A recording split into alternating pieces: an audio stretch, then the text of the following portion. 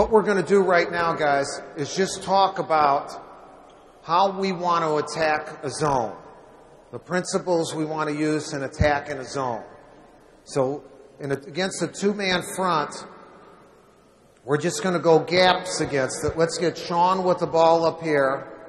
Daniel on a wing, JJ on a wing, and our two big guys. The first thing we want to do in attacking the zone is use the dribble properly. Intelligent use of the dribble. So while we're doing this, like gap penetration, step back dribble, getting two guys to play one. Right there. If there's a gap where you can penetrate the gap, that's the ver- first way we want, to, we want to do it. The second way is you can have, instead of just that penetration, you can have angle penetration. An angle penetration, let's just go on a shallow cut.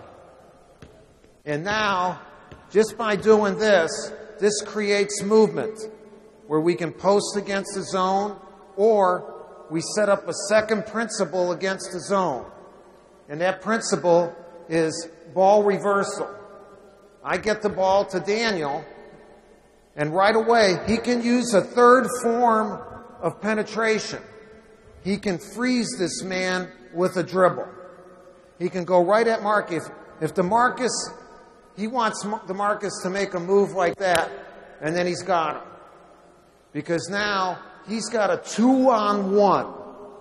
That's what you guys have to, as you get the ball, are there any two on ones? Right now there's a two on one, and when Daniel comes here, that's the ball reversal, and now we got a chance you know, for, for an easy shot, just by doing that. So good penetration, intelligent use of the dribble, okay, ball reversal. The next principle is, is flashing from the middle into the middle of the zone. Now you can flash from the middle the, to the middle of the zone a number of ways. Daniel's got the ball. Okay, all of a sudden he's posting. I can flash here into the middle of the zone. When someone flashes into the middle, it doesn't have to be for a shot. A lot of times it's not going to be for a shot. But as I get the ball here, the easiest thing I have to do is hit, and you got a shot. Or if DeMarcus came with me as I flashed to the zone, it's to turn right here. But if you got a shot, you can take it. So a big guy flash it. If, say Daniel has it, reverse it to, to Sean. Okay, now to get JJ. A lot of times when our big guys are down here like this, the opposite wing, like say David is, is going a little bit more towards this, you can flash into the middle of the zone from the wing also. Shot, dish, you know, right there. Okay, so that's the third principle. The fourth principle that we have in attacking the zone is to keep our men, our big guys, behind the zone. Right now, we want our big guys behind the zone. Couple reasons, few reasons for it. The first reason, JJ gets the ball right now and he takes a shot. Who's got inside position? I do. Okay? Just by being behind the zone. The second thing is, I can look at posting the zone. Right now, I'm going to read what these guys are doing. If they're not looking at me, see, I can see everything. And so if I see that Patrick's not looking at me, right now, I can come in and post the zone, and I'm right here.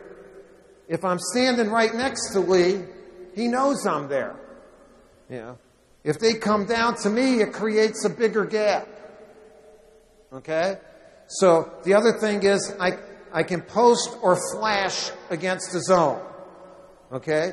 Let's say that Sean has the ball. i have got Sheldon's spot right now, and you hit Daniel. Okay, who goes up? Anytime the bottom man in some zones, one side or the other, the bottom man goes out. If you're behind the zone, as soon as you see that man go this way, you should go right into this guy and you can get this post. But you got to make the read. If you're here, get it again. Okay, the pass, react, Patrick. Okay, it's gone. Because I waited until he got the ball. Now you got it, get it back again. As the pass goes, you see, I made my play before he ever received the ball. So by staying behind the zone, we can post, we can flash, we can rebound. So the being behind the zone is the fourth principle. The fifth principle is screening the zone. Okay? How do we screen the zone? One, one, an easy way right away is let's use angle penetration. No, just your shallow cut. Screen. Look what happens. We've created this, and also a flash, right? Screening the zone. Okay? Let's get back again. Okay, I'm right over here. Angle penetration, but now go to the corner. I come from, be- no, go right to the corner. Right here. And now I've screened the bottom man. I mean, just simple things like that, besides calling sets, you know, against it. You know, right away, if I see Lee right over here, come on, get the ball up on top. I'm right there. Daniel, you can just, come on, Daniel. Boom. Okay? And if he runs out there, I go right into this man, and I got this. So what I want to do right now, just using those things, intelligent use of the dribble, ball reversal, flashes, staying behind the zone, and some indiscriminate screening against the zone